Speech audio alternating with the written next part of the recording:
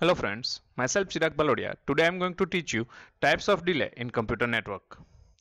Uh, there are main four types of delay, processing delay, queuing delay, transmission delay and propagation delay.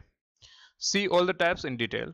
First one, processing delay. Processing delay is a nodal delay. Uh, it defines time required to examining the packet header. It means check the packet header where to packet will be sent from one node to another and determining where to direct the packet.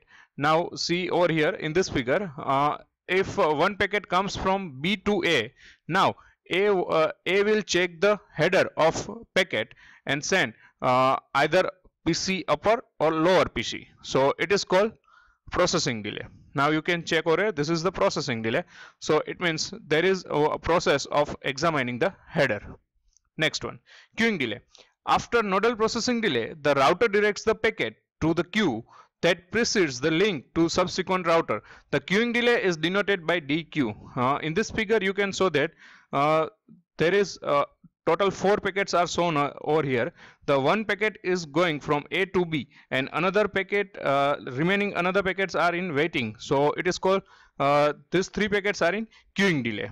Uh, sometimes queuing delay will be zero. If there is uh, no queue at router and packet comes from uh, one router to another router so there is queuing delay is zero. The queuing delay is observed at the queue. The packet experiences a queuing delay as it waits to be transmitted over the link. So this is the queuing delay. Next one transmission delay.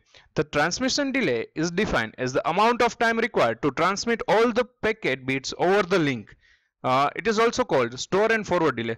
So now you can check uh, in this figure this is the transmission delay. So it means uh, all the packet bits uh, comes from output port of the router to communication channel. So it is called transmission delay. Next one propagation delay the propagation delay is defined as time required by a packet to propagate from sender to receiver. So now you can check that this is the propagation delay. So if uh, one packet comes from uh, router A to router B, so when packet will reach, this time is called propagation delay. The propagation delay is denoted by D propagation. Now total nodal delay. All the delays uh, it means uh, processing delay queuing delay transmission delay and propagation delay that all are uh, combined and it generates total nodal delay. So this is the equation. You can see over here. Thank you for watching video. Please like share and comment on all videos. Subscribe my channel on youtube chirag bhalodia. Please press the bell icon for the new video uh, notification. Thank you. Thank you so much